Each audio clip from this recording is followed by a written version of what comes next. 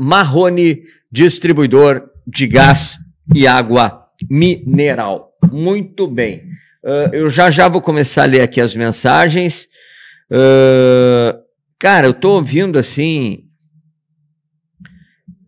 Eu tô ouvindo muitas coisas. Deixa eu só ver aqui um negocinho aqui, só para eu confirmar.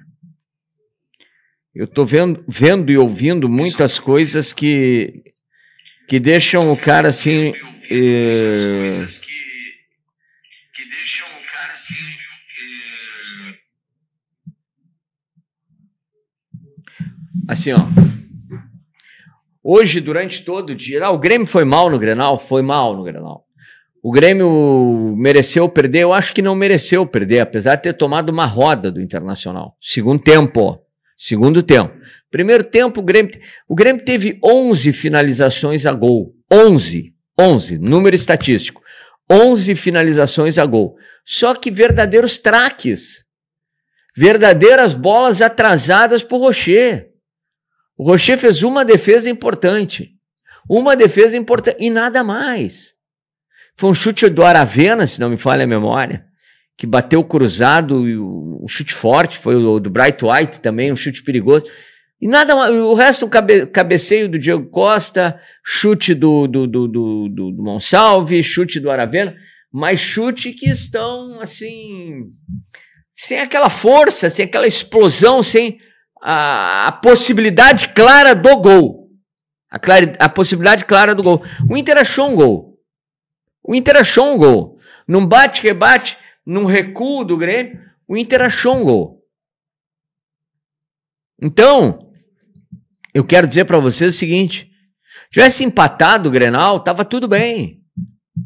Tá tudo bem. Só que havia e há, passarinho, Opa! uma torcida tão grande por parte da imprensa no Rio Grande do Sul para que o Grêmio se ferre, que é assustador, passarinho. Opa! Os caras estão, os caras estão, e tá aqui o urubu, ó, cabeça para baixo. Daqui a pouco eu pego pelo pescoço, urubu. Esse urubu não olha no olho, ele Não, ele não olha no olho, olha aqui, ó. Olha aqui, mau caráter, ó. Olha no olho, rapaz. Olha no olho, rapaz. Olha aqui, ele, ele vira todo, ó, o urubu.